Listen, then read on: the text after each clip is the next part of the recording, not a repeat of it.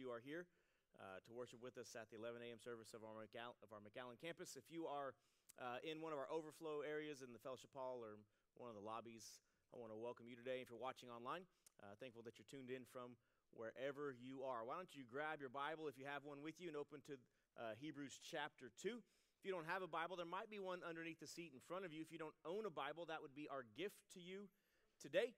Uh, and the text will be on the screen here in just a minute when we jump into it. Hebrews chapter 2, we're going to continue uh, our series entitled Jesus is Better, right? Well, Jesus is better than what?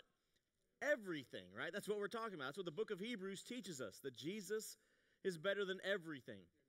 And so we're going to uh, continue on this morning. Before we jump into the text here in a few minutes, I want to celebrate a few things with you. We're a church that likes to celebrate things. If you're a guest with us, just don't get freaked out if we start clapping and stuff. We're we're happy. You go to some churches and it feels like you're at a funeral. You're like, where's the body?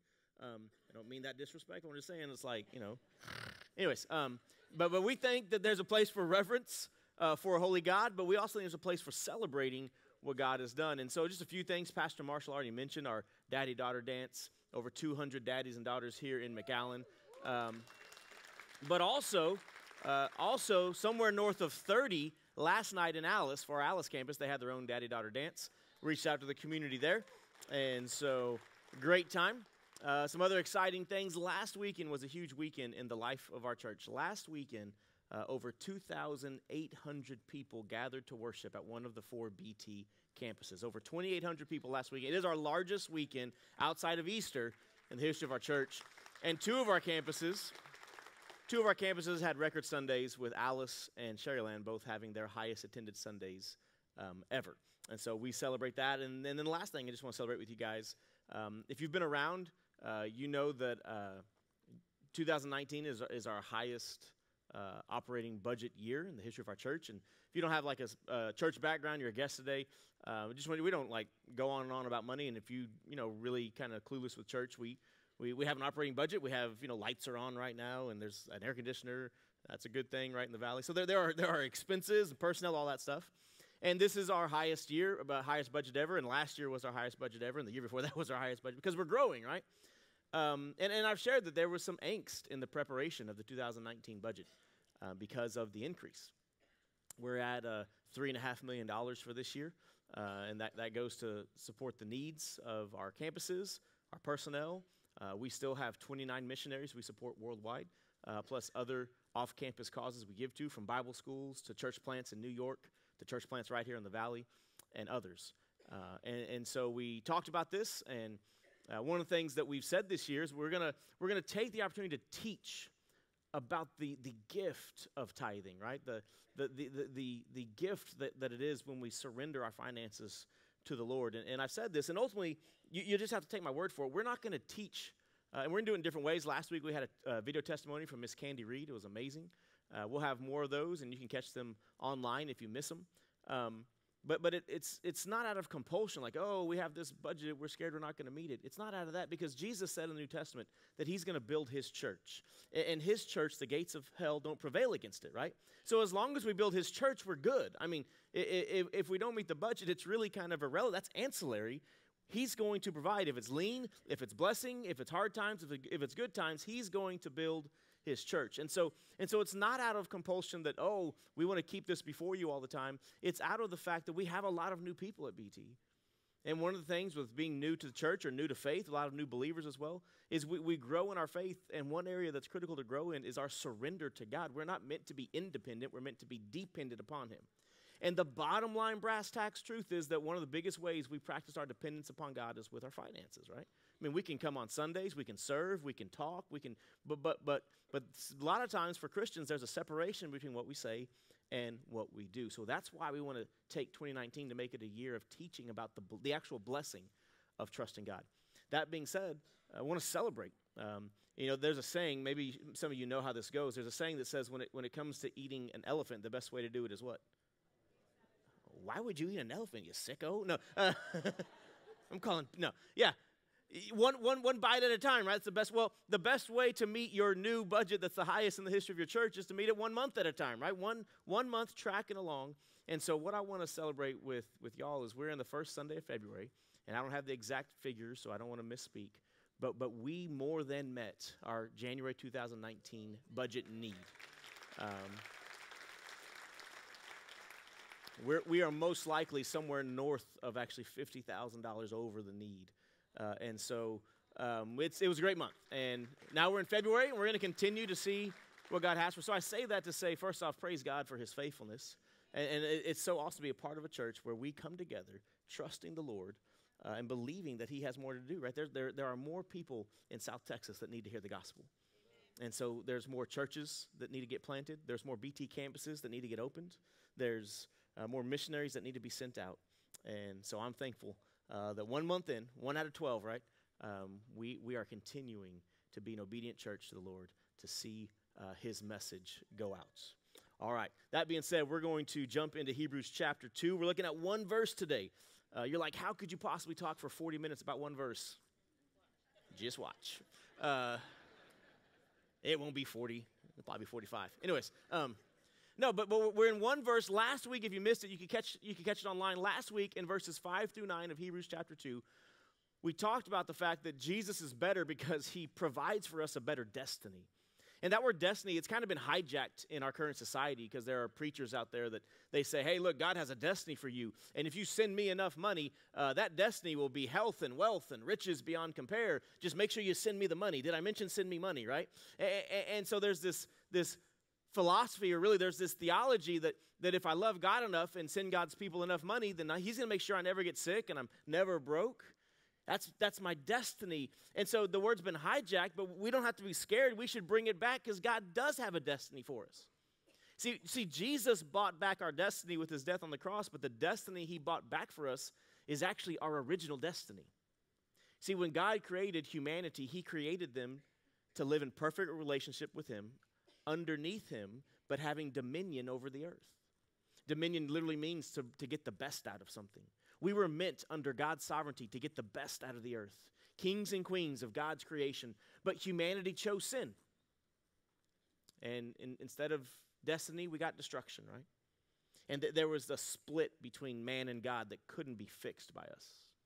We, we, we could not get back to God. And so he made a way, and that was through Jesus. So last week we talked about the fact that our, our destiny a better destiny is provided through Jesus. Today, what we're going to do actually is we're going we're to take verse 10, connect it to the previous passage, and really all of Hebrews so far. And we're going to see how Jesus is the one who's capable to do that, right? He, he bought back our destiny. Well, who, who says he can do that? What's his resume? Why is he qualified to be the one who accomplishes our destiny? Why is he the one, what I'm going to say a lot today, he's the one who recreates. I say it this way the, the story of redemption is the story of the God who creates and recreates for his glory and our good. You see, God is recreating because when, when God accomplished victory through Jesus and his death on the cross and his victorious resurrection, the truth is, God, see, God didn't just defeat sin and death and Satan. He defeated them so much so that it's like they were never there. It, see, it, it's a complete recreation for all of those who place their faith in him. He's, he's redoing, restoring what once was. And Jesus is the one who is completely equipped, entirely appropriate, as we'll see in the text, to accomplish this on behalf of God the Father. Now, let me, let me say this. What we're going to talk about today is how Jesus is a better pioneer, right? A better trailblazer. Um, think for a minute about where you are, where you're, where you're sitting, and think about what, what all went in for you to be able to be here. To, I, I don't mean, well, I woke up and that was, you know, I mean beyond ourselves. Like, yeah, we got up, we got dressed, brushed our teeth, right? If you didn't, don't close talk me today, all right? Like, this is the distance you got to keep. But anyways, n- not not our personal selves, but think about what went in to make today a reality. Like just to make today a reality. There's a lot of people who practiced, who rehearsed and instruments and vocals across again four campuses. There's a lot of people that that that, that put in time for uh, production technical elements so we could have words on the screen. Uh, there, there was a, a thermostat set so it would be cool when we showed up. But, but not just that. There was a sermon that was written. I'm getting there. Anyways, um, but, but not just that. I mean, here, here in McAllen, some of you don't remember these days because you're, you're new to the church, but, but four years ago, this room got remodeled, right? I mean, some of us remember the blue carpet days, right? Blue carpet, blue pews. And, and four years ago, it's not just that there was blue carpet, blue pews, there was no Sharyland, Edinburg, or Alice campus. But, but, but not just that. So, so, like four years ago, this room was remodeled. A lot of thought and preparation went into it. These chairs that we sit in were purchased. But, but all of that still is predicated because some 34 years ago in 1985, a group of believers felt called by God to start a church in North McAllen, and they didn't have a whole lot of support in the process. People thought that there didn't need to be a church up here. Like that, does, this is not a strategic place for a church in 1985, but by God's grace and with His vision, they they blazed a trail. They pioneered a vision so that 30 you know, 34 years later, 2,800 people could meet inside a radius of 100 miles, plus 29 missionaries worldwide and church plants to boot. And, and that, that goes back to that vision 34 years ago, but that vision 34 years ago only came about. Those pioneers could only pioneer and blaze the trail because they had placed their faith in the ultimate pioneer, Jesus. See, the, the, the, the path to get back to Jesus now, I said, if you're going to clap, you got to do it. I mean, you're messing with my emotions. If the, the path to get back to Jesus could only be blazed by himself. Otherwise, humanity would be left wanting. And, and I'm going to say this a lot throughout the sermon today. If you are here today or you're watching online, or you're in overflow somewhere, and you, you're here today and you are unsure about the God thing, you're unsure because of your own doubts, whatever. You're unsure because you, you, you think you're doing enough good, you know, like you, you, you show up some, you're overall a pretty good guy or girl, uh, and you, you, you just kind of think that in the end the scales will probably balance in your favor. I'm going to say on the front end, that's a false hope. It's not going to work out. But the good news is there's been a trail that's been blazed by Jesus. He has pioneered a path that when we place our faith in Him, we indeed can be brought back to God. And I think what we're going to see in this verse uh, this morning is, is, is, why He's able to do so. Now, now, let me say this also. There's a lot of us, we've, we've got church background. We're what I call churchies, right? You know,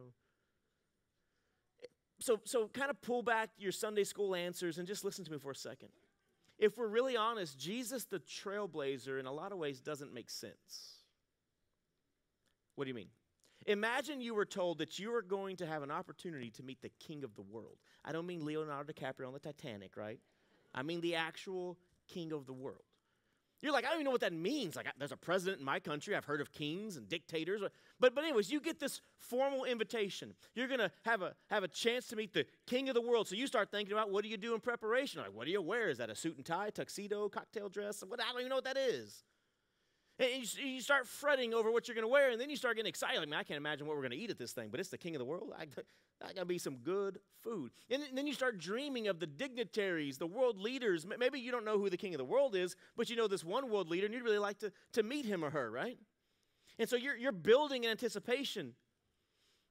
And then the day of the event, you, you, you are provided with a, a personal escort to help get you to the introduction. And you got four outfits laid out. You're like, look, I, I don't even know what this thing's to be like. Like, is it black tux? Is it, you know, casual sweater? Like, where, where, where, where, where do I go here? And, and the escort's like, look, it doesn't really matter. Just kind of, what you have on is fine. You're like, I just worked out. You're like, it's fine. And then you're getting ready to leave, and then and, and the person who's going to escort you to the introduction says, hey, you might want to grab a bite to eat before you leave. You're like, well, I would like seven course meal. I mean, like, no, you might want to grab a granola bar or something because you could get hungry. And then, and then you're led out on the trip, and you end up where you end up is not some royal palace, some, some regal hall. Where you end up is some back alley with the stench of death. And the person that's been guiding you takes you by the shoulder and says, Look, look down, look, look down the way. And you look, you look down the alley, and, and there's a clearing out there. And at the end of this dark, stinky alley, there's a man bleeding to death gasping for air. He's being executed, charged as a criminal. What's his crime? Clinging a ki- claiming a kingship that he doesn't have.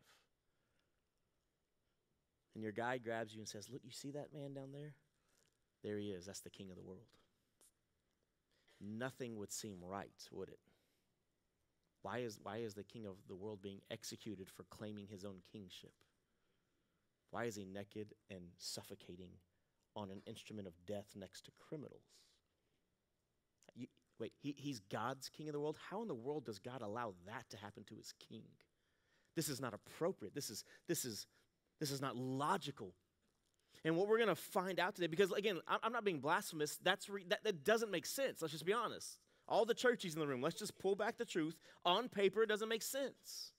So, how does the bleeding, suffocating Jesus crucified on a cross, how is that appropriate that he is the one?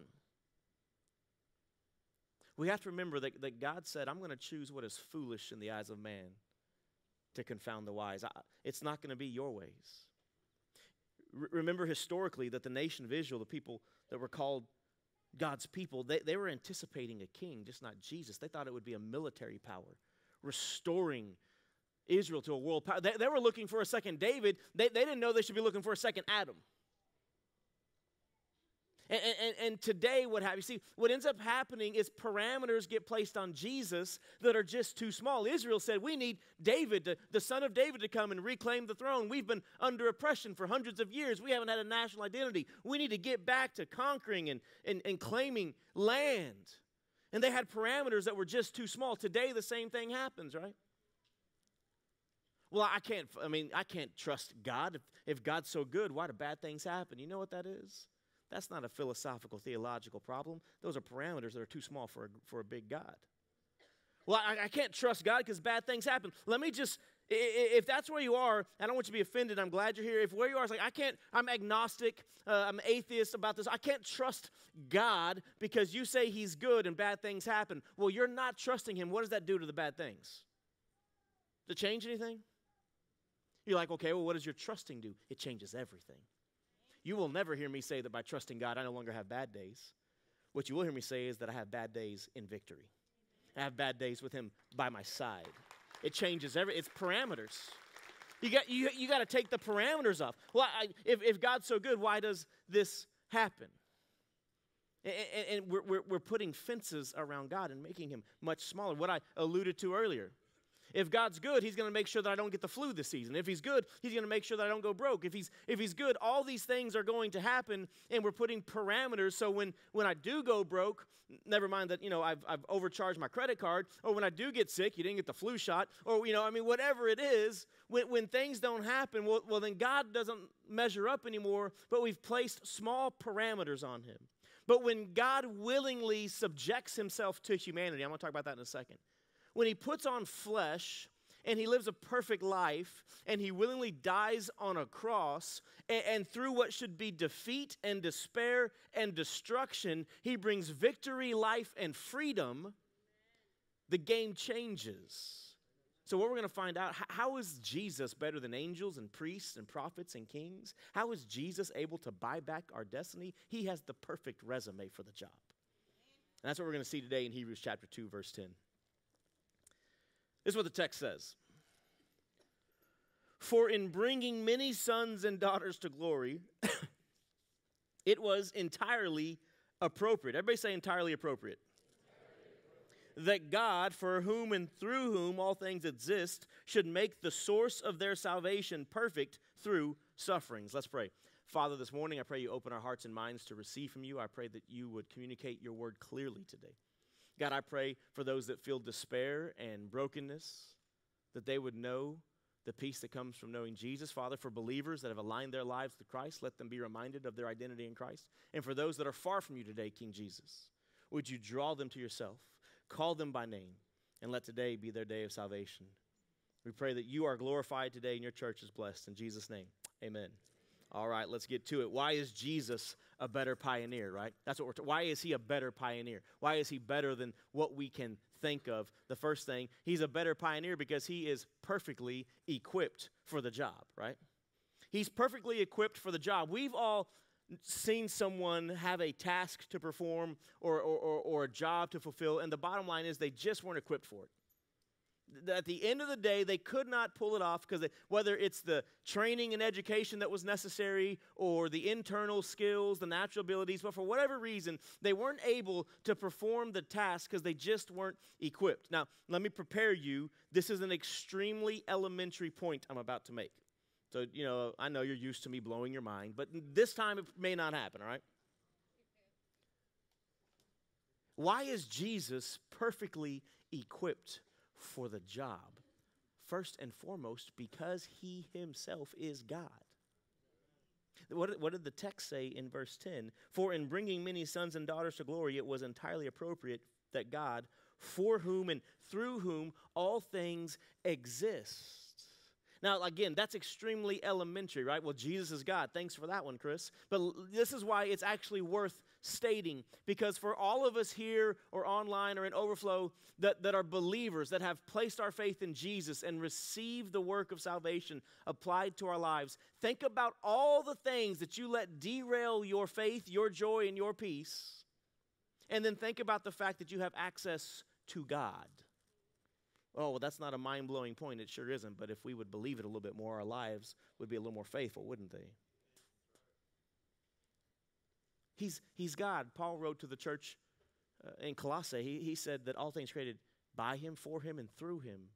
John chapter 1, he says, In the beginning was the Word, and the Word was God, and the Word was with God. If you read John chapter 1, take the word word and replace it with Jesus. Word? All right. In the beginning was the Word. In the beginning was Jesus. And the Word was God. Jesus was God. And the Word was with God. Jesus was with God. Why is He equipped for this monumental job? Because He's God Himself. He's the perfect fit. That's what everything that we've studied up to this point tells us. He's better than angels. He's perfectly equipped. He's better than prophet, priests, and kings. He, he, he's above all things. He put everything in place. He can accomplish our destiny. He can buy it back because He Himself is the God that all things are created through. And it is completely, entirely appropriate that God accomplish redemption and salvation through Jesus because doing so is in line with His goodness. Jesus is perfectly equipped for the job of ushering in recreation, of, of restoring what was lost the righting of the wrongs of sin. He is perfectly equipped for this job. Not only that, but, but Jesus was also perfectly obedient in the job. When the task, he, he, was, he was equipped for it because he's God himself, eternally pre existent, right? He's got all those things, but, but, but he also was perfectly obedient in the job. Paul writes to the Philippian church. You don't have to turn there, but I'm going to flip over to Philippians chapter 2 and read a few verses for you.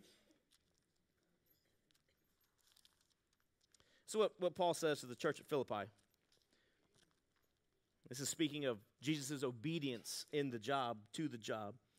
He says in verse 5 of Philippians 2 adopt the same attitude as that of Christ Jesus, who existing in the form of God, did not consider equality with God as something to be exploited. Now, let me explain that. You're like, what does that mean? What he is saying when it says existing in the form of God, he's literally saying he is God. N- not, not form of like a type, like he, he, he exists in the form of, as, as God exists, but yet, even though he is God, he doesn't consider equality with God something to be grasped. You confused? I am. Let's keep going. He didn't, he didn't consider equality with God something to be exploited. You know why that's an important line? We, we are not God. We are created in his image, though, the only part of creation, created in God's image. But yet, humanity has this tendency to take our creation in God's image and exploit it, to grasp it. He goes on to say, instead, in, instead of considering equality with himself something to be exploited and grasped, he, he emptied himself by assuming the form of a servant, taking on the likeness of humanity. And when he had come as a man, he humbled himself by being obedient to the point of death, even death on a cross. Let, let, me talk about that just for a second. What is happening here? Okay, so let me talk about Jesus, right? Jesus is God. We've established that point. So, so all these fancy words, right? They, they get they get attributed to Jesus. He's eternally pre-existent. What does that mean? He has always been there, has no beginning. He is word that I've talked about before. He is immutable. Not he doesn't stop talking. He does not change. It's impossible for change. There's no shadow of turning within him, as one writer of the hymn would say. He's unchanging. He's not fickle like a man. He's eternally pre existent, He's immutable, He's omniscient, omnipotent, omnipresent. He knows everything, He's more powerful than anything, and He's everywhere. Okay, that's Jesus. That's Jesus, right? But even though that's who he is, he didn't consider that something to be exploited, so he therefore empties himself, right? If I took the lid off this bottle, I hope it's tight, and I poured it upside down, neither looked up real quick there, and I pour it upside down, right? Then it would begin to empty itself. A natural question is what did Jesus empty himself of? Now, let me make a disclaimer. This is my commentary, okay? I believe at least part of, we won't know in full, part of what Jesus emptied himself of willingly, wasn't taken from him, were those big word traits. He put on, how do I, how, why do I believe that? Because when he came to earth, he became an infant. People who are possessing and displaying omniscience, omnipotence, and omnipresence typically don't need to be fed, changed, and napped. He willingly, willingly, okay? And so then he grows in stature and becomes a man. And what does he do? He works, he has a job. And then what happens as he's a man? He still has to eat and sleep. And so he's subjected himself willingly to this. And then, even though he lives the only perfect human life, denies sin in his humanity every day, all day, then he willingly submits himself to death, not just death, but a criminal's execution on a cross. again, well, that doesn't make sense, right? How is that the king of the world? Well, let's see why that makes sense. For this reason. What reason? For the emptying of himself, for the obedience, not, not, not, not for the display of power, not, not, not for the, the, the conquering of lands, but for this reason, God highly exalted him and gave him the name that is above every name, so that at the name of Jesus every knee will bow in heaven and on earth and under the earth, and every tongue will confess that Jesus Christ is Lord to the glory of God the Father. He's perfectly obedient in the job. He submits himself as God to the will of God. He, through his obedience, ultimately pioneers life and freedom. Th- through his suffering, he ushers in hope. Now, I know sometimes that doesn't connect with us. Why, why does it not connect with us? Because believers and non believers alike, you know what we're, we're prone to do? We are prone to view suffering exclusively as heartache and evil, something that happens because we did something to bring it upon ourselves. We, we're, we're prone to avoid it. Now, let me be clear. I am not advocating, and I, there's not a biblical principle for becoming some type of narcissist that says, man, I, I hope I suffer today. Like, in fact, when I go to bed, I'm actually going to move my bed four inches over, and I'm going to go sleep and forget I did that. I'm going to wake up and stub my toe. Praise God for that. I'm pretty sure I'm going to I'm going to wait till church lets out, and I'm just going to like run back and forth across Trenton. Just, yeah. Well, G- Jesus is my Savior. You better hope He's your traffic cop too. I mean, it's, it's not foolishness that we apply. But we, as I said earlier, for those that question God's existence because bad things are in the world, bad things are in the world. For the believer, guess what? Bad things still happen. Suffering, you know what suffering becomes? This is super encouraging, right? Suffering becomes our traveling companion. Good news, right? Woo. But some of you know the answer to this because you've been around for a while. Suffering also has a what? Expiration date. Jesus made it clear in the 21st chapter of Revelation when John in his vision says, I saw a new heaven and a new earth because former things had passed away. And in this new earth, man, there's no mourning and there's no pain and there's no death because all those former things, guess what? They've died. Death has died. And, and then Jesus says, check this out. He said, behold, I like to say, check this out. Check this out. I made all things what? New. So suffering has an expiration date, but it's not just that. It's not just, well, I'm just going to suffer till I get there. The expiration date hasn't hit yet, okay? But in Jesus' perfect obedience to the job. When we place our faith in Him, we have the promise of the expiration date of suffering, but we don't miss this. It's not just then, it's now and then. It's now and not yet. While we wait for suffering to expire, we may face it today, but we will face it in victory. The suffering you face, don't miss this. If you have Jesus, you face it in victory, not in defeat. If you don't have Jesus, I don't have any good words for you. Face it in defeat right now. So, in his obedience, he ushers this in. And when we only view suffering as this negative reality that's always for our harm, we miss what Jesus did. Jesus didn't just make the good days good, he made the bad days good.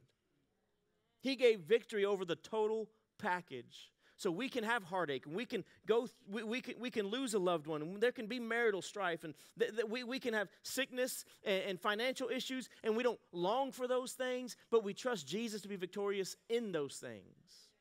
So that guess what happens? Regardless what the sickness does, we still have victory. When, when, when, everyone says there is absolutely zero hope for that marriage to be restored, we say, you know what? I think Jesus has a different word for that. When, when, when these things happen, because of the perfect obedience that Jesus has to the job. What, what, what does the, the text say? Go back to Hebrews 2.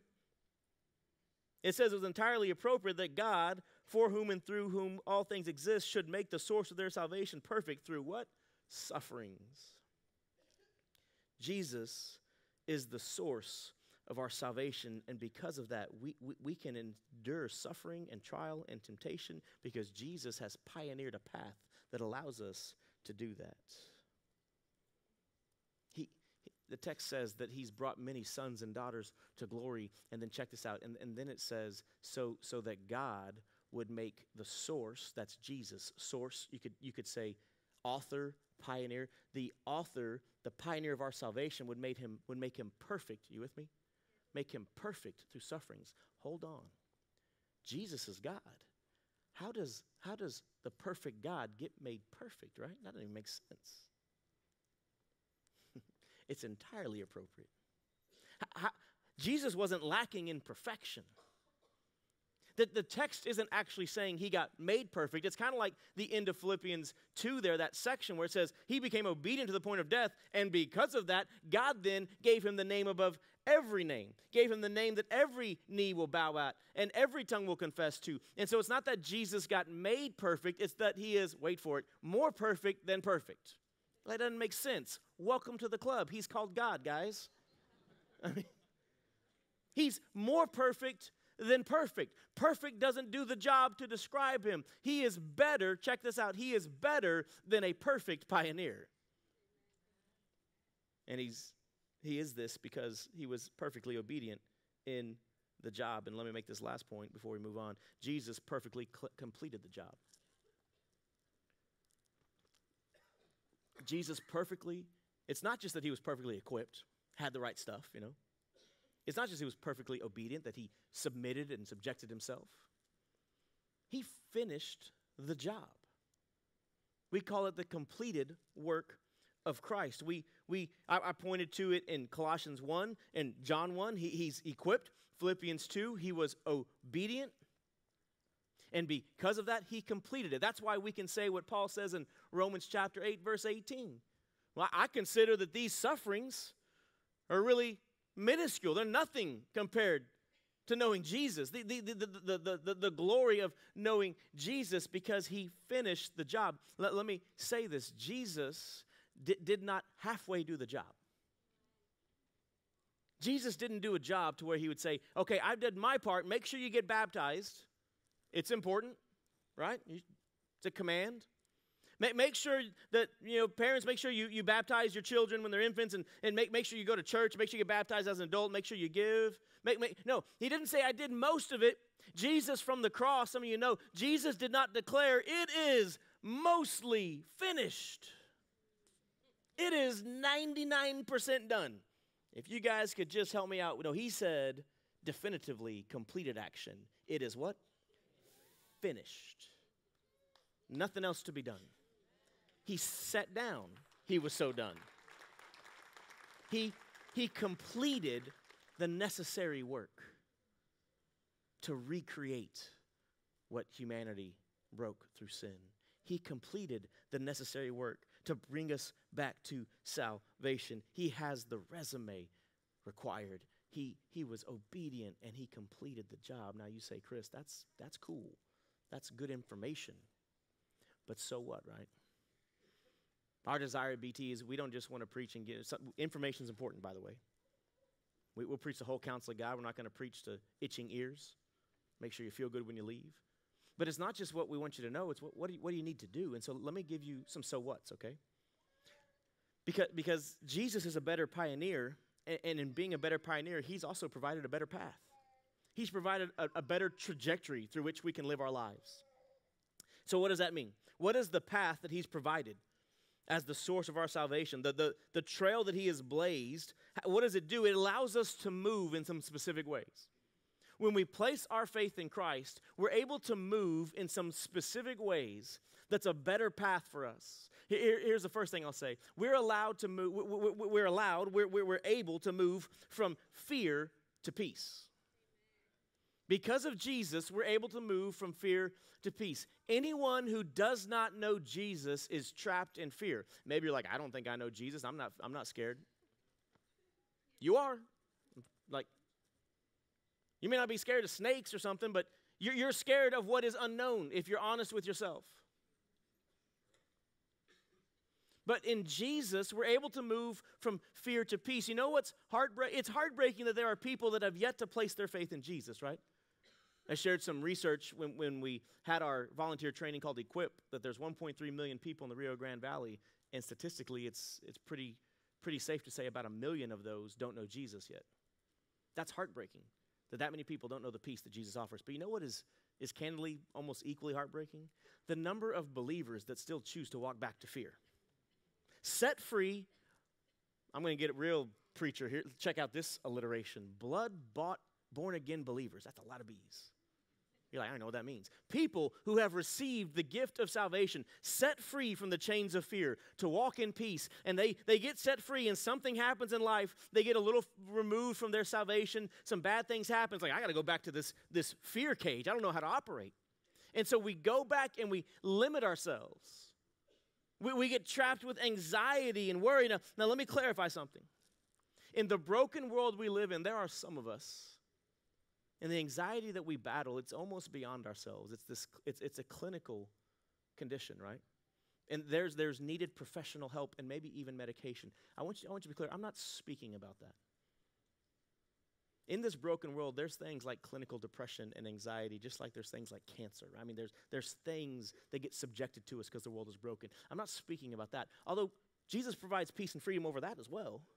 But what I'm talking about is, is the person who, who continues to just worry and, and, and live in anxiety over every little thing. It, it's, and maybe even say, as a believer, you say, you know what, I really don't have a lot of struggles. I mean, things are going well in my marriage. I'm, I'm not looking at stuff online I shouldn't look at. My finances are straight. I don't have any struggles. I just worry a lot. You might have a struggle. See, he, he died to set us free from that. Beloved, if you know Jesus, you can move from fear to peace. The fear that grips you doesn't have to grip you because the victory that Jesus accomplished has already been applied to your life. Paul, Paul didn't write to the, to the church in Rome, hey, here's, here's who we are in Jesus. In, in Jesus, you're kind of, sort of, almost, almost a conqueror. Except for when things get rough. Then you got no. He says in Jesus, you're not a conqueror, you're not an overcomer, you're a more than conqueror, you're an over overcomer. You know, there's that song that's real big, I'm an overcomer. I like I'm not hating on the song. But you know, a better lyric would have actually been I'm an over overcomer. I know that's like maybe not good lyrically, like the CD scratch or something. But that's what Paul says. He says you're he, he says more than conqueror more than an overcomer, not in our own right and might, but because of Jesus. We can move from fear to peace. We can move from lies to truth. Now, let me talk about how twisted this one gets, all right? This is going to be like, this is like a, a mind bending riddle, so stay with me. This is what Satan has done. he's, taken, he's taken a truth and, and caused us to want to believe it's a lie. What's that? What's the truth? You're not good enough, right? Be- before we place our faith in Jesus, Satan's taken that truth and he's like, don't believe that. Don't believe you are good enough. You're smart enough and people like you, right? I mean, don't, don't, don't, don't buy into that.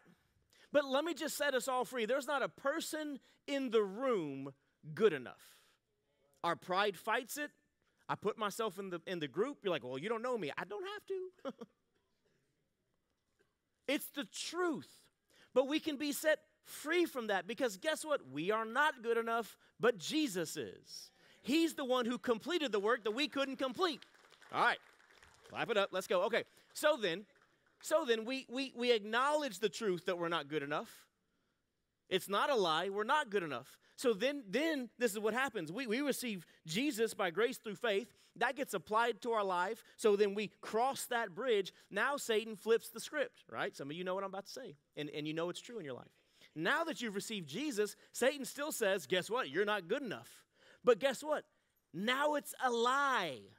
When Jesus takes over your heart, it is no longer true that you're not good enough. Again, in the eighth chapter of Romans, we are told that we are co heirs with Jesus.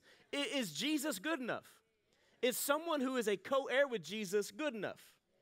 It says we are sons and daughters by adoption, by which we cry, Abba, Father. We cry out, Daddy, are sons and daughters of God good enough? Well, I'll, I'll keep going if that's the. Yes. You will, because of Jesus, don't misunderstand, it's not prosperity preaching. Because of Jesus, you will be more than an overcomer. Is more than an overcomer good enough? Did we do any of it? No, Jesus did. But standing in Christ, as we stand in Christ, we can stand, and Satan can say, You're not good enough. You can say, You were right, but not anymore. You were right, but not anymore. I've been moved I've been moved from not good enough, not because I did anything. And I'll even, not because I'm worth it, but, but God deemed my redemption to be worth his glory. So he sent Jesus, and it didn't seem right, but it's actually entirely appropriate. And Jesus died on a cross, and when I placed my faith in him, I didn't do anything. When I placed my faith in him, he says, You're mine. And when he says, You're mine, I'm now good enough. I move from lies to truth, and because of that, because of that, I'll also move from death to life. I'll move from death to life. It's life eternal, but but don't let it be just and I don't mean to minimize this. It's not just pie in the sky and the sweet by and by. You move from death to life. There are some, some people in this room and, and, and, and, you're, and you're married and it's falling apart and you believe it's over. If you would surrender that to God, you can take that marriage from death to life. Now, hear me. It's not just saying, well, it's yours, Jesus. I'm just going to trust you to do some good stuff. It's actively pursuing it. It's saying we need to get some counseling. It, it's, it's not husbands staying, sitting there and being like, well, once my wife gets it figured out, it'll be good. She's probably not the problem. Um, you just realize you don't want counseling with me. But, anyways, we have other good counselors. But it's not saying, well, she'll figure it out or he'll figure it out. It's saying, I will, I will die to myself to make this right.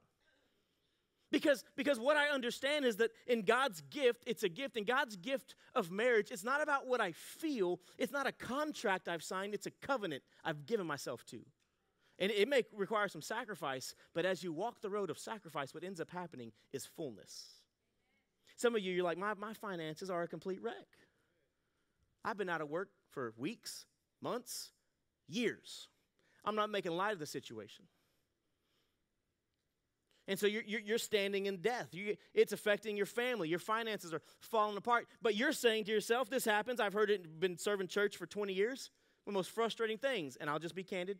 I get more frustrated with men well, I, I, you know, I've been out of work for 24 months, but God has a job for me, and I'm just waiting for it. Meanwhile, in the waiting, six opportunities have come your way. Like, well, that's not the job for me, brother. You need to work.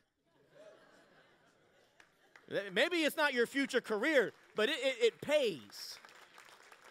And so we don't sit back and say, well, God's going to work it out. He is going to work it out, and He expects you to walk alongside Him in the working. And you, and you move from death to life. And, and, and there's freedom. And Jesus is the one that can actually do it. He's, he's the only one that can actually do it. So what do we do? Right? So what? Okay, I, I want to move from fear to peace. I, I want to move from lies to truth. I want to move from death to life. what, what do we do? A few things. There are some of you in this room, you, you have faith in Christ. Maybe you're watching online. You have faith in Christ. You, you have new life. But you have gone back to the prison, the cage of fear and, and the cage of lies and the cage of death, even. And so this is, this is like, this is legit. I mean, we, we sometimes we want to believe that it's always God riding in the sky, or when I go to Coco's, my tortilla will have a picture of, you know. Sometimes, guess what? Sometimes it's actual discipline. if, if that happens, I'm totally Instagramming that, by the way. But sometimes, though, it's actual discipline. And so, some of us that are captivated by fear, you know what you actually need to do? Today, you need to get a pen and paper the notes app on your phone, whatever, and you need to list the things, the fears that paralyze you. Actually list them. I don't like, not, not snakes. I always go to snakes. I'm scared of snakes. Anyway, I'm, I mean the fear of failure. I mean, I mean, I mean the, the fear of not being enough. I mean the fear of my past coming back to haunt me, that, that abuse. I mean these fears that keep you in a prison that Jesus already let you. I mean, the door's open. List them, actually write it down and give it to him.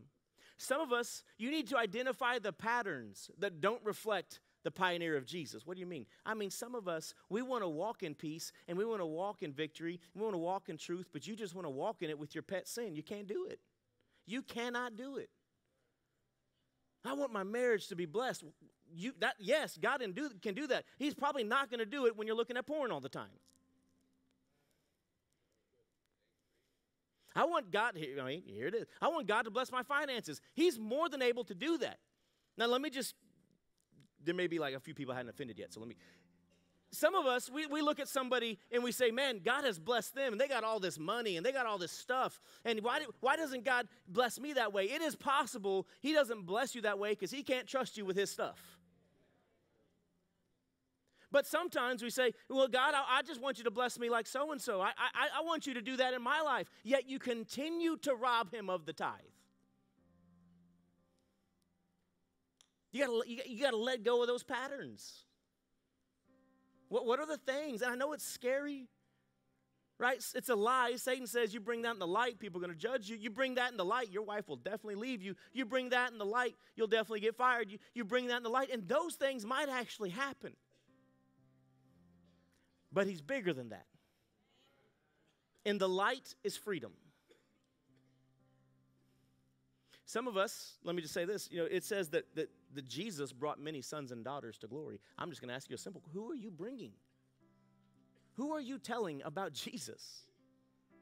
It amazes me sometimes as believers, we want to be like Jesus in so many ways, except for the part where it involves bringing people to Him. In your family, in your workplace, in your community, on your team, at your school, who are you telling about Jesus? Who, who are you going to bring? You know where I'm going? Who are you going to bring next Sunday to church? I'm done celebrating 2,800. I'm ready for 3,800, all right? Who, who, are we bringing? And then let, let, me, let me close with this. Some of us, all of that, you're ready for it to be applied to your life peace and truth and life, but you have yet to surrender your heart to Jesus. You, you have yet to, to, to pray, to, to, to say, Jesus, I can't do it, and I need you to save me. But if you'll do that today, guess what? Those things start to happen. I'm going to ask our ministers to come forward. We're going to have a time of worship. As they make their way forward, I'm going to I'm going to ask you to stand. And as you do, I'm just going to ask you to do, uh, do me a favor real quick. We're done. I want you to bow your head and close your eyes. I just want to ask you a question right now. You may need to make a list. You may need to identify some patterns. You may need to think about who you're going to invite, who you're going to tell about Jesus. But I want to talk to those people that maybe are here and they have yet to surrender their life to Jesus, receiving salvation. I just want to talk to those people. Every, every head bow, every head closed. Let me just ask you a question. As you think about your life and your eternity, here's my question Do you know that you know Jesus? Do you know that you know Jesus? If you're unsure, if you're unsure if you have a relationship with Jesus Christ, I'm telling you, you can have it today and it's free. But He doesn't force Himself upon us. we have to choose to surrender. And so I, I want to pray over you. I'm not going to ask you to do anything, but if that's you, if you'd say, I don't know that I know Jesus, but I want you to pray for me, would you just raise your hand so I can pray for you? Just, just pick it up real quick. Just hold it just for a second. I see you. Just hold it just for a second. Anybody else? Another hand. Okay, I see you. Okay, I'm, I'm going to pray. Father, I, I, just pray right now for these, for, for everyone that can hear my voice, but I pray for those that have said, I don't know where I stand with Jesus. Father, because what I know is that, that, that in that place there is no possibility of peace and truth and life. And so I pray that, Father, you would, you would tell them what you've done for them, the price you paid on the cross, and that in this moment you would call them to salvation, and that it's for your glory. Amen. We're going to sing and we're going to worship. And if you raised your hand, I'm going to ask you, it's entirely up to you, but I'm going to ask you to do me a favor. These men and women, more than anything, would love to talk to you about knowing Jesus. And so if you raise your hand, you may be in the middle of the aisle, they'll let you out. Just make your way down here. Grab any of these men and women by the hand and just say, I need to know Jesus. Would, would you be willing to do that? Would you come forward? And would you say, Today I need to know Jesus? Respond as the Lord leads.